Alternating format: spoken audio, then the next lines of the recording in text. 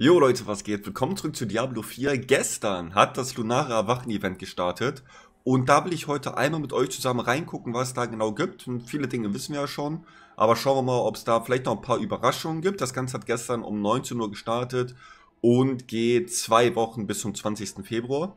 Ähm, allgemein gibt es 50% Bonuserfahrung, das ist sehr cool. Und den Bewegungsgeschwindigkeitsbonus mit 30%, da bin ich auch sehr gespannt, wie krass der reinzündet. Ich gehe hier rein mit dem Barb, weil da macht das Leveln ja am meisten Sinn aktuell noch. Macht jetzt keinen Sinn, 100er zu nehmen. Wenn ich sowieso nicht leveln kann mit dem.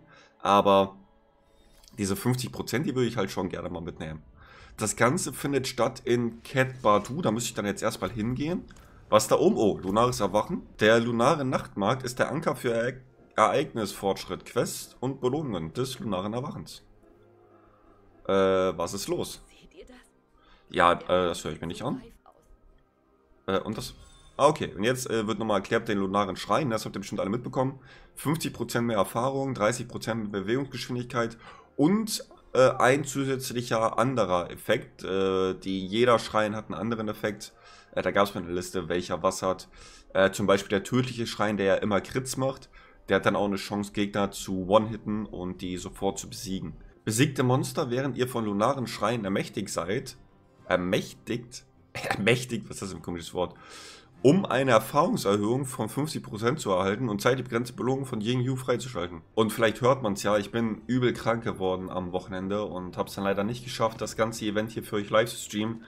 Ich hoffe, dass ich morgen zum Start von Skull Bones wieder äh, so fit bin, dass ich ein bisschen streamen kann. Ich hatte bis gestern noch richtig Fieber. Und ja, also der Schrein sieht sehr cool aus. Machen wir mal an.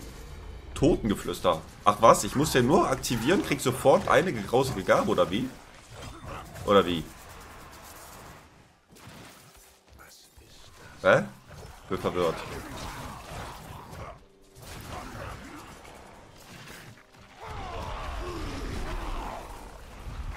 Krieg ich von denen jetzt irgendein... Irgend, hä? Krieg ich von denen jetzt irgendeine Währung oder sowas?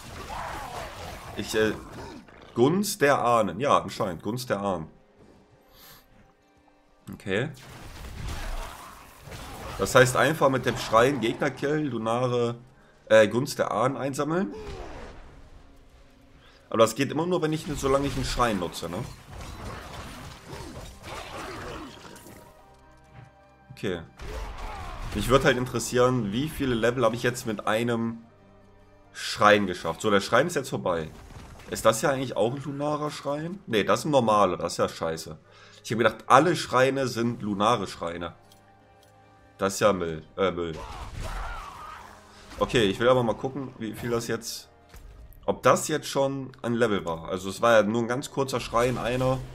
Wie viel ist das? Okay, das war knapp ein Level. 245. Ah, okay. Aber es macht ja auch Sinn, weil 300, man kriegt ja mal 5. Okay.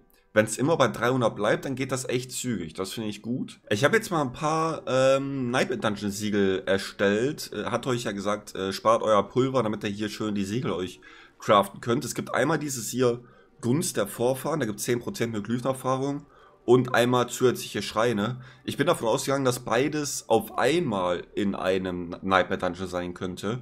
Ey, entweder Schreine oder Glyphenerfahrung, das ist natürlich echt doof. Hier ist nochmal zusätzliche Schreine.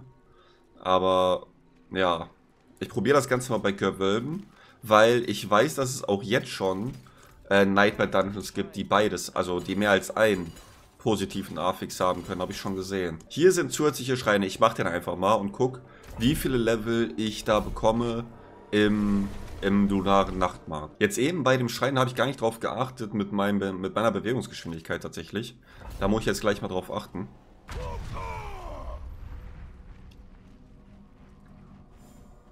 Da vorne ist der erste Schrein, da bin ich erstmal gespannt. Den nehme ich. Und, okay, Bewegungsgeschwindigkeit ist jetzt nicht mega anders, als es vorher war. Mit einem Schrein, der hat ja immer auch Erfahrung, äh, Erfahrung, immer auch Bewegungsgeschwindigkeit gegeben. Und direkt den nächsten. Was halt noch interessant wäre, ist jetzt darauf zu achten, wie viel Erfahrung ich bekomme. Das ist jetzt beim Spiel natürlich ein bisschen schwierig darauf zu achten. So, und jetzt im Gewölbe natürlich wichtig, viele Gegner killen, sobald ich so einen Schrein aktiviert habe. Damit ich auch die ähm, Gunst bekomme, ne?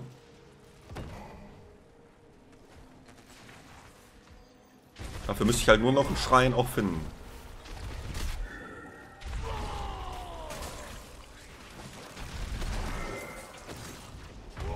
Kein Schrein für mich. Ja, schade, zusätzliche Schreine lohnt sich ja richtig im Gewölbe, wenn da nicht einer ist. Äh, okay, ich bin ein bisschen... Ja, nicht so geil, muss ich sagen.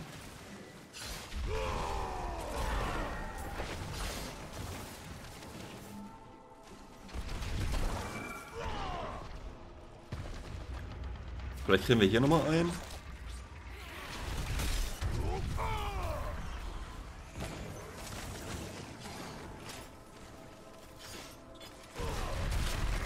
Okay, haben wir einen. Aber das ist kein lunarer Schrein. Die Frage ist halt jetzt, äh, kriege ich die Gunst? Ich sehe nichts, nicht, nichts, dass ich irgendwie Gunst bekomme. Okay. Muss ich sagen, enttäuschend. Ich hatte gedacht, alle Schreine sind lunare Schreine. Aber es gibt einfach beide und die lunaren sind irgendwie selten. Ist doch scheiße. Ich sammle jetzt gar keine Gunst ein, oder wie? Doch kacke. Vielleicht sehe ich es auch noch nicht, keine Ahnung. Ich gehe gleich mal zum Nachtmarkt. Jetzt bin ich aber gespannt, ob das Gunst gegeben hat. Okay, was ist das? Götter, ihr seid zurück. Was ist das hier? Quest abgeschlossen? Okay. Okay, ich habe die erste Stufe bekommen. Aber das... Ja, das 585. Okay. Machen das mal auf. Was ist da drin? Items und Zeug, okay.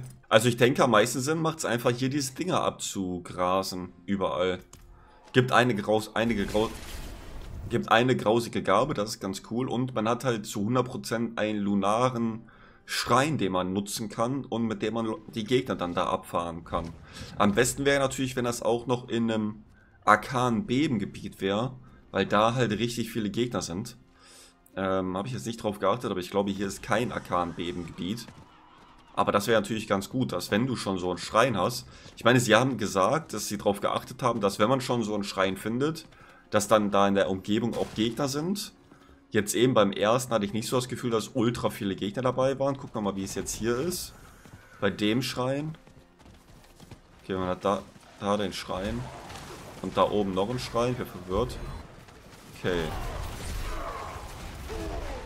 Okay. Und hier ist eine Aufgabe. Mit einem Schrein.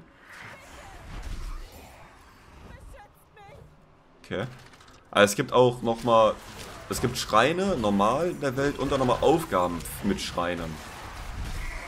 Aber die geben ja hier richtig viel Gunst dann.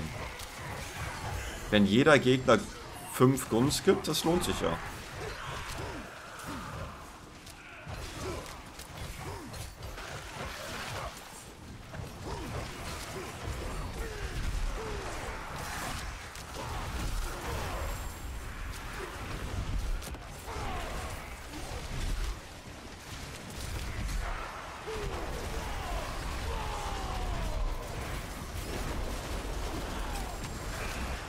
Okay, das lohnt sich hier natürlich extrem. Doch, doch.